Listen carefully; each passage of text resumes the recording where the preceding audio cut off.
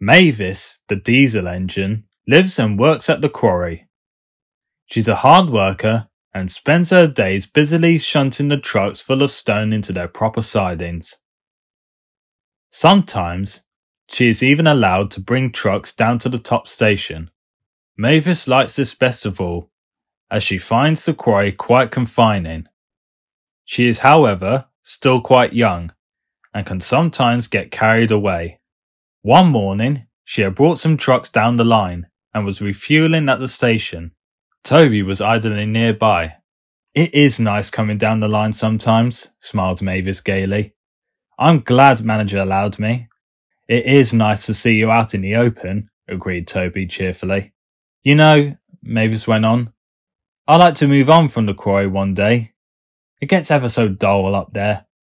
I could be much more useful down here instead. Toby smirked. He knew what Mavis was like. Oh, really? I don't think your manager would like that. Who would shunt the trucks for me? Mavis huffed. You can jolly well shunt them yourself. I'm bored of that silly place. I should be allowed to work elsewhere. She flounced away without another word. Toby watched her go, chuckling quietly to himself as she did. Toby wasn't the only one who had watched Mavis that day. A cow had broken free of her field early in the day. It had wandered down towards the line after she saw Mavis rattle past with her trucks. Standing on the track bed, the cow found plenty of nice grassy patches to eat. Now for lunch, she thought to herself, as she happily set about chomping. Mavis was still grumbling as she headed back up the tramway. Not fair, not fair, she muttered. Daft old Toby, rotten old quarry. Her thoughts were quickly interrupted when she saw what was up ahead. Brakes, driver, she called as she slowed. But the trucks had other ideas. They were tired of Mavis's grumbling and wanted to have some fun. On, on, on, they chanted stupidly as they surged forwards. Mavis was surprised but she was also wiser to the trucks. With skillful braking, she controlled the truck's speed, but not quite well enough. She stopped just too late. Her cow catchers bumped into the startled cow, nudging it forwards. Silly thing, cried Mavis. Get a move on you. She gave a loud blast of her horn to drive the point home. The cow was surprised and hurried forward, but to Mavis's dismay, stayed between the rails.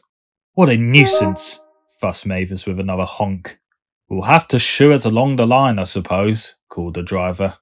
Mavis thought so too, and so, inching carefully along, with regular soundings of a horn, she set off, shooing the cow along the line.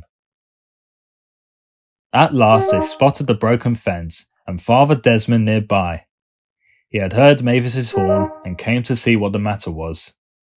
Oh, there she is, he cried happily. Oh, thank you, Mavis. What a kindness. I'm indebted to you. Mavis couldn't help but blush at that. Could make a farmer out of you, we could, added the farmer with a laugh. Unfortunately, we've a quarry to get back to, replied the driver.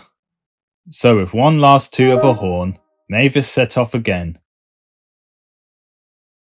Later that day, Toby arrived at the quarry.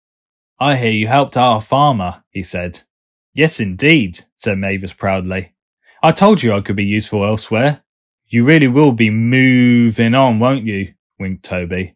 Although not very far from home, it seems.